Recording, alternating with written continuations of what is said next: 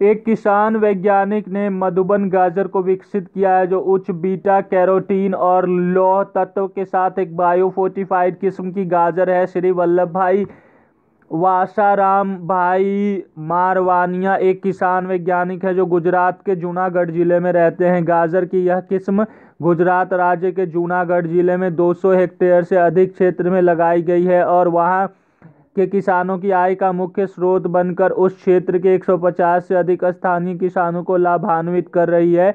पिछले तीन वर्षों से इसकी खेती गुजरात के एक हज़ार हेक्टेयर से अधिक भूमि के साथ साथ अन्य राज्यों जैसे पश्चिम बंगाल, महाराष्ट्र, उत्तर प्रदेश और राजस्थान में भी की जा रही है। महत्व, मधुबन गाजर बायोफोर्टिफाइड किस्म की एक गाजर है जो अत्यधिक पौष्टिक है और इससे लौह तत्व दो मिलीग्राम प्रति किलोग्राम और उच्च बीटा कैरोटीन तत्व दो दो मिलीग्राम पर किलोग्राम के साथ चयन विधि के माध्यम से विकसित किया गया है।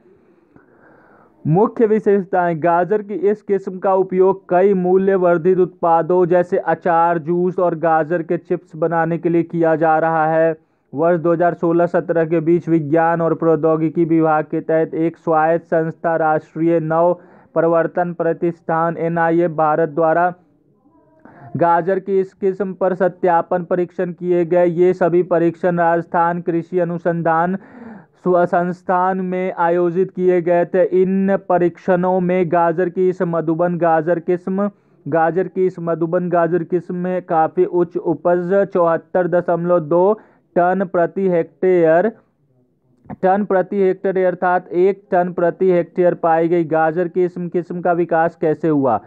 वल्लभ भाई वसाराम भाई मनवा मारवानिया ने वर्ष 1943 में यह जान लिया था कि दूध की गुणवत्ता में सुधार लाने के लिए स्थानीय गाजर की एक किस्म का इस्तेमाल चारे के तौर पर किया जाता है। उन्होंने विशेष रूप से उसी किस्म की गाजर की खेती शुरू कर दी और इस गाजर को बाज़ार में अच्छी कीमत पर बेचना शुरू कर दिया। तभी से वे और उनका परिवार गाजर की इस उच्च उपज किस्म के विकास और संरक्षण पर काम कर रहा है। वल्लभ भाई वाशाराम भाई, मन, मारवानिया को मिले हैं ये पुरस्कार गाजर के क्षेत्र में। वल्लभ भाई वाशाराम भाई, मरवानिया के असाधारण योगदान के लिए वर्ष 2019 में उन्हें पद्म श्री से सम्मानित किया गया था।